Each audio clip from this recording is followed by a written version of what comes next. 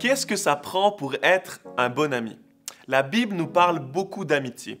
Et Jésus, une des premières choses qu'il fait avant de commencer sa mission, c'est qu'il se choisit 12 gars avec qui il va tout partager.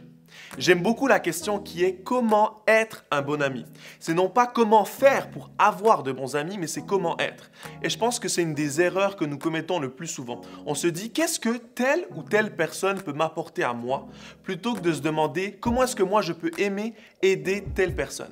Et Jésus, c'est exactement ce qu'il nous dit lorsqu'il nous demande d'aimer les autres comme soi-même. Les vraies amitiés sont souvent plus proches que nous le pensons.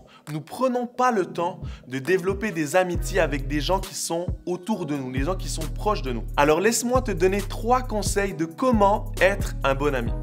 Premièrement, sois authentique et vrai. Parle de tes combats. N'aie pas peur de t'ouvrir en premier. Comment est-ce que tu veux que les autres s'ouvrent si tu ne t'ouvres pas en premier? Deuxièmement, investis du temps dans la relation. Les bonnes choses prennent du temps et c'est encore plus vrai pour les relations. Troisièmement, Pose-lui des questions, intéresse-toi à la personne. Comment est-ce qu'il vit telle ou telle situation? Comment il traverse tel ou tel défi? Je suis convaincu qu'il n'y a pas d'âge pour se faire de bonnes amitiés. Pour ma part, mes meilleures amitiés ont été créées lorsque j'étais adolescent, alors que j'ai investi du temps et de l'énergie pour ça, et m'accompagnent encore aujourd'hui. Alors comme Jésus qui s'est donné pour ses amitiés, nous aussi soyons aimants, attentifs, intentionnels avec les gens qui nous entourent dans les bons et les mauvais moments. Et c'est comme ça que nous allons être de bons amis.